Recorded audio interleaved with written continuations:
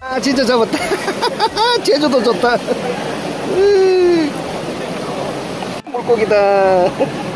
물고기다 그 종류는 뭔지는 모르겠지 물고기. 피레미 피레미 피레미 아니에요? 이게 피레미 새끼.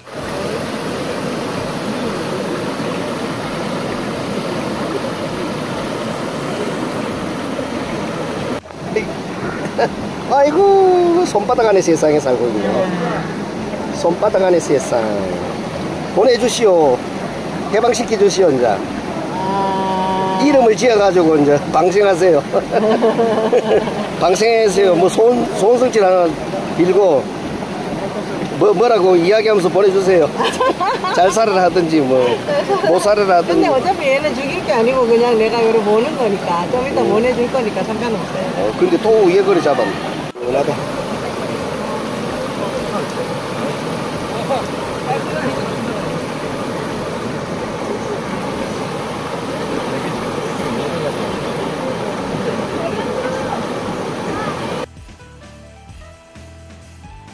맞네 제주도 용왕차 잡았다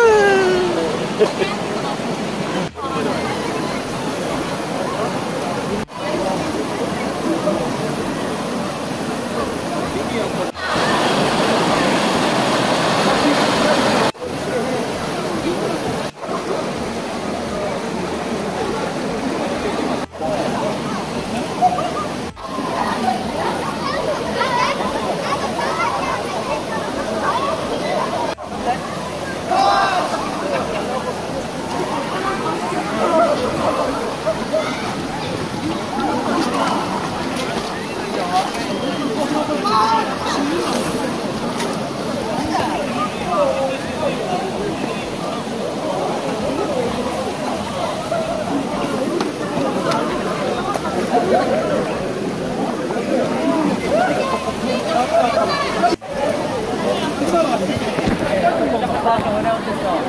내가 내가 내가 내가 내가 내가 내가 내가 내가 내가 내가